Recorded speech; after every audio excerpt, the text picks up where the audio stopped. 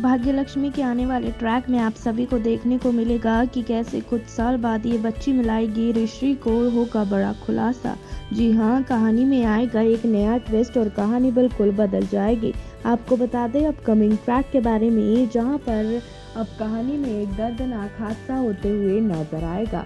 और ये जो हादसा है, अब कहानी में लीप लाता हुआ नज़र आने वाला है, क्योंकि अगर सोर्सेज की माने तो बताया जा रहा है कि कहानी में प्रेगनेंसी का ट्रैक आने वाला है और बहुत जल्द लक्ष्मी, ऋषि के बच्चे की माँ बनती हुई नज़र आएगी। अब देखना दिलचस्प होगा कि ये बच्ची कैसे मिलाएगी अपने मम्मी पापा को। क्या होगा आगे शो की कहानी में? हम आपको जल्दी बताएँगे अपनी नेक्स्ट अपडेट में। तो तब तक करें इंतज़ार और बने रहिए हमारे साथ। और आज ही हमारे चैनल को सब्सक्राइब करें।